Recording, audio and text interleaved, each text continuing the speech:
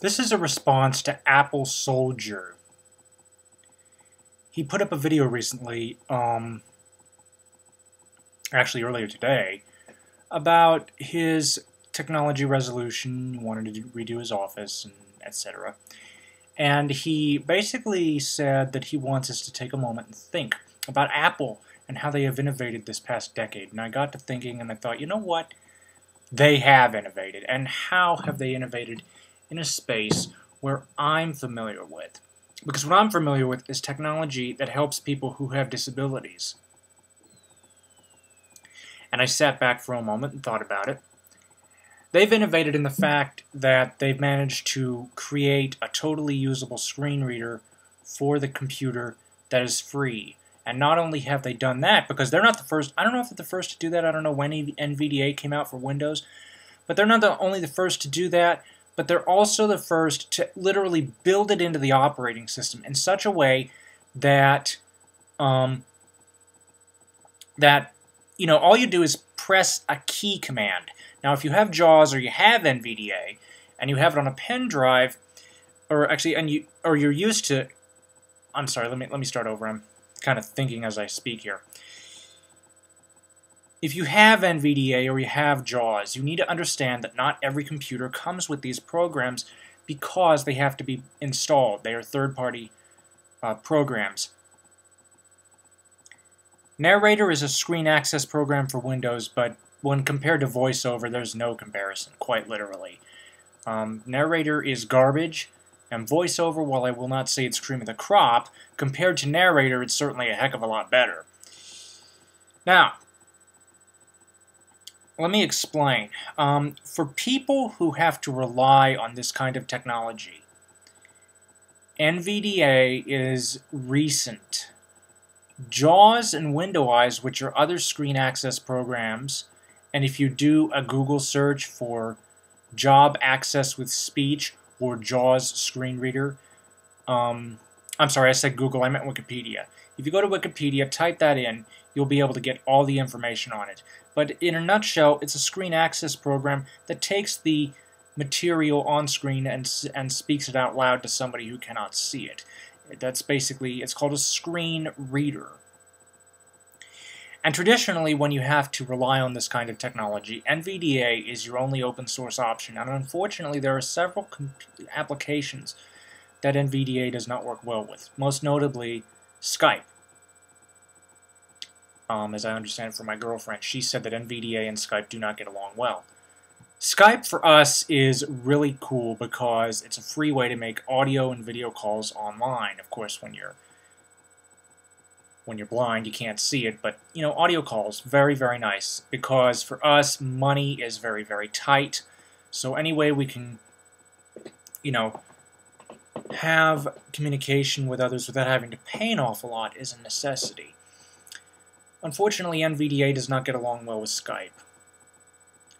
VoiceOver does, and again, VoiceOver, they've innovated, um, Apple's innovated in a way that I've never seen before. Again, they've built it into the operating system in such a way where you walk up to a Mac, you hit a command stroke, which is uh, Function Command F5 if you have a laptop-style keyboard, or if you have the full-size keyboard with the dedicated number pad, um, and the upside-down T for the arrows sitting by itself, you um, you can just hit um, Command F5 and that'll turn on the screen reader. No other company has done that, and they've even innovated in the portable space in this respect. They have managed to build VoiceOver into the iPhone. Again, nobody's ever done this. And in the case of Windows Mobile, there is very elementary screen access software built into Windows already. Well, I shouldn't say built in, it's preloaded. Um, because when I say that Apple's built it into the operating system, I mean that quite literally. They've done it in such a way that it's impossible to crash VoiceOver. Um, at least that's their claim. And um, but they've also done it in the mobile space. The iPod Touch, not this particular version, but the newer one, the three, the uh, third generation. If you get a 32 or 64 gigabyte model, you go into settings under under general and you go into a, a field called accessibility, you turn on the voiceover switch, that is a screen reader for the iPhone. Windows Mobile does not have any access software whatsoever built into it. It has to be preloaded, and let's look at it this way. Let's say you want to get yourself a pretty nice phone. It's going to set you back a fair few hundred. Well, the screen reader on top of that's going to cost you another couple hundred. And this is assuming you're not with AT&T because AT&T has a major discount going on where you can get the software for 90 bucks, which is pretty sweet considering the software on a portable device can cost $300. This type of software for a full-blown computer can cost anywhere from 800 to $1,200, okay? So it's expensive. So the beautiful part is that if you're willing to go with a pretty simple system, you can get the Mac Mini, a keyboard, and a mouse for about 800 bucks. You can share it with your family, and you, as the screen reader user, don't have to install anything. During setup, you don't even have to worry about sighted assistance. With sighted assistance, with uh, Windows, you do have to have sighted assistance, unfortunately. Um, I think this is changing in Windows 7. I think Narrator you can have the ability to activate narrator during setup, though I'm not 100% sure on that. Um, but with voiceover, and and if they and if you can, they've taken it from Apple's book because Apple are the first to do this. With Windows, you have to have sighted assistance to set up your computer, and it can be a bit of a drag. My girlfriend set up a computer for her neighbors recently. It took her a long time because she, not unlike me, is a bit of a, um, a techie, but she had to have her neighbors read the screens to her because the, this was what Windows um, Windows 7, I think it was either 7 Starter or XP, and there was no access technology in there. There was no vocal output for her. VoiceOver changed all that. They changed all that. They've innovated in the adaptive technology space, and they did a um, review on the iPhone on the AFB Access World uh, magazine recently, they literally called the voiceover screen reader a revolution. We've been trying to make touchscreens accessible in a usable form for some time now. MobileSpeak has done it, but unfortunately with this new breed of Windows mobile phones, it's not going to work quite like that.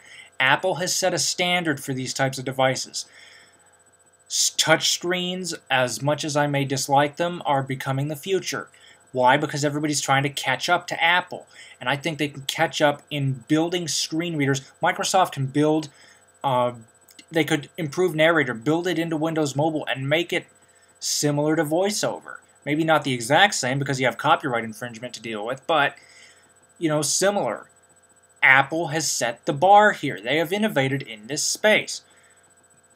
Excuse me when voiceover first became available, nobody else was doing this in terms of a computer you could just walk right up to, hit a, a single keystroke, and it starts talking.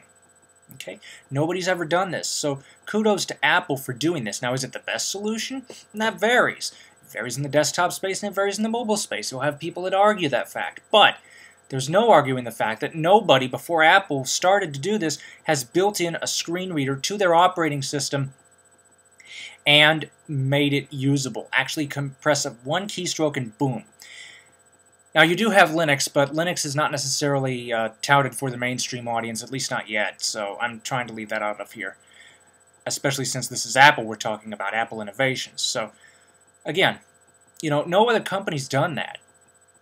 Same with magnification. We've had full screen magnification in our system built in since 2003. We haven't had to pay the $500 they're charging for a screen magnifier. They only recently caught that up to caught up to that in Microsoft with Windows 7, and even then, you don't have the text smoothing like you do in OS 10 because they don't use the OpenGL standard. But um, but I digress. That's for a different video. Anyway, that's how I feel Apple's innovated in the last decade. Comments and questions are welcome. Insults against me will get you blocked. And have a nice